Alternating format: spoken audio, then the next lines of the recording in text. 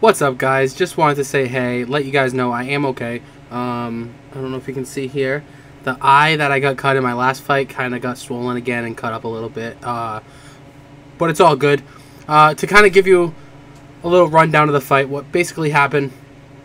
Round one, I was getting stuck with the jab a lot, so he kept sticking the jab to me, and uh, he did pretty good. You know, I held my own and everything, but I, you know, he uh, he was definitely being the more aggressive one. But it was a great, great round. Round two, uh, oh, at the middle of that round, he got me with a rib shot, and for some reason, that rib shot just, I could not breathe. And it was so bad that I almost was like, oh, do I call off this fight? Like, I don't know if I can even breathe anymore. You know, after the first round, I, I was breathing basically like, and it was tough. But I would, uh, I was like, I'm not gonna stop going. And uh, round two came along, and it, it was better. Um, you know, you could tell he was getting a little bit fatigued too. So we were going at it. We were having fun. Um, put on a good show. Then round three happened. Round three was kind of insane. Uh, he fatigued a lot. I'm not gonna lie. Uh, so was I. Uh, but for me, it wasn't so much fatigue. It was uh, my rib was killing me, but I, I, was pushing through. I could tell he was tired, so I tried pushing uh, on him a little bit more that round.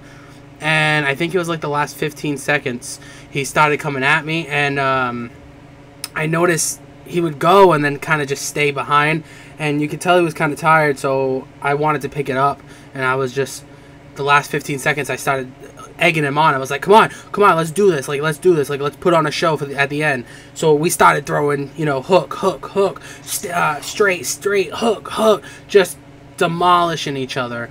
Um, and then the, you hear the 10 seconds, the click, click, click, click, and I, I start yelling at him again. I'm like, Let, like, let's do this! Come on, like, come on, and um, I think it pushed the both of us to really just keep going, and, we were swinging until the end of the round and it was an exhibition match, so there's no winner or loser technically, um, but it went good, and I think it was nice. I will say, you know, he, ha- he I think he has a bright future. He's a really respectful kid, uh, well, guy. I'm sorry, I, I say kid for everybody, but uh, really respectful guy, and it was a good fight, and we put on a show in front of all those people. So I'm very happy it happened. I was definitely the underdog. We were the loudest fight of the night for sure. Everybody was uh, cheering for Amro. That was his name. They were like, Amro, Amro, Amro. Before the fight even started, everybody was on that guy. So I was definitely the underdog.